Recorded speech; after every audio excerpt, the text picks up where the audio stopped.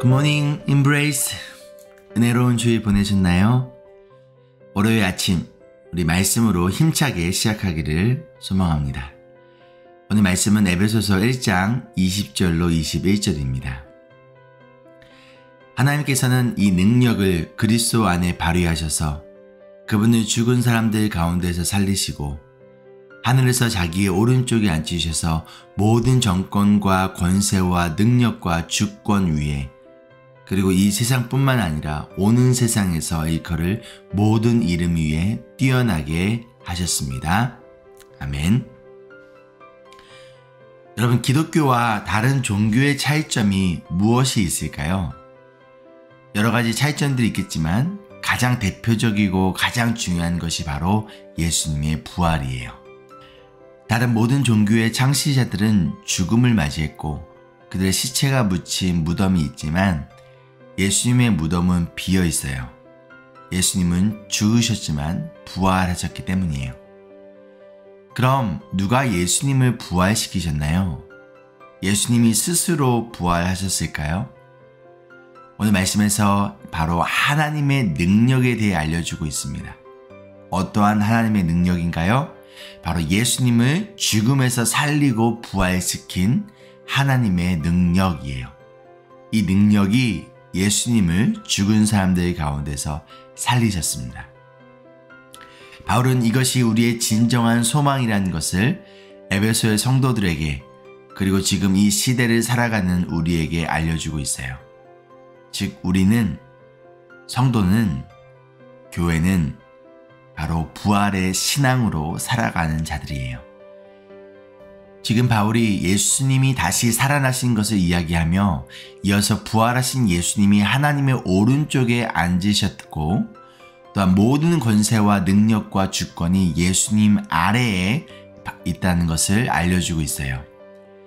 지금 예수님의 부활과 이 세상을 다스리시는 예수님의 주권과 통치권을 연결하여 이야기하고 있어요.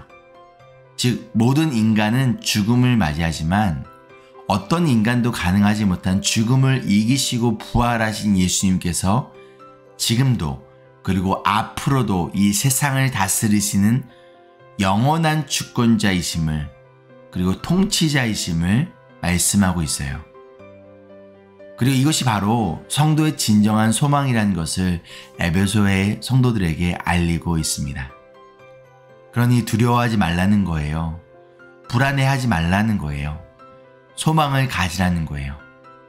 에베소라는 상업적이고 영적으로 타락한 도시에 살아가던 성도들에게 예수님은, 예수님은 로마 황제보다도 로마의 신들보다도 사탄의 권세보다도 위대하시며 이 세상의 모든 권세는 예수님의 발 아래에 있으니 소망을 가지고 담대하게 살아가라는 것이죠.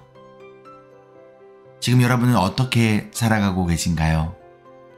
부활의 신앙으로 살아가고 계신가요? 예수님이 이 세상의 주권자이시며 통치자이심을 믿고 신뢰하며 담대하게 살아가고 계신가요? 코로나와 전쟁 그리고 불안한 정치적인 상황 속에서 또한 이 세상을 바라보면서 두려우신가요? 개인의 인생과 가정에 찾아온 어려움 가운데 불안하신가요? 그렇다면 죽음을 이기시고 부활하신 예수님을 바라보세요. 하나님의 우편에 앉아서 이 세상을 다스리고 계시는 예수님을 바라보세요. 그 어떤 권세나 이름보다도 뛰어나신 예수님을 바라보며 찬양하세요.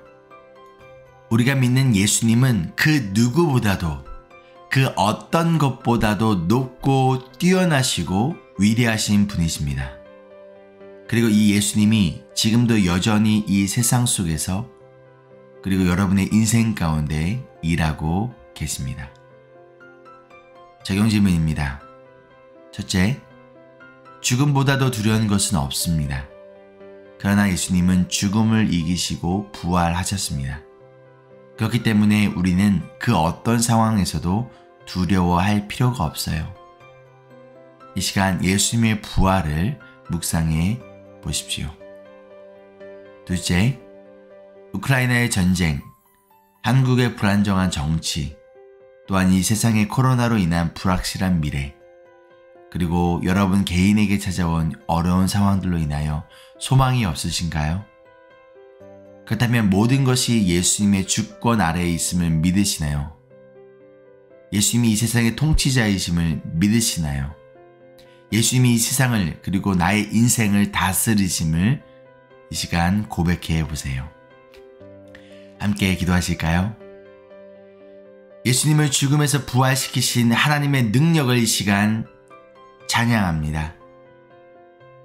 그 어떤 두려움보다도 큰 죽음을 이기신 예수님의 부활을 바라보고 의지하며 살아가는 성도가 그리고 교회가 되기를 기도합니다. 이 세상을 다스리시는 예수님의 통치하심과 주권을 의지하며 어떤 상황에서도 절망이 아닌 소망 가운데 살아가는 모든 성도들 그리고 인브레이스 교회가 되기를 소망하며 부활하시고 이 세상을 다스리시는 예수님의 이름으로 기도합니다. 아멘. Embrace Jesus, embrace people.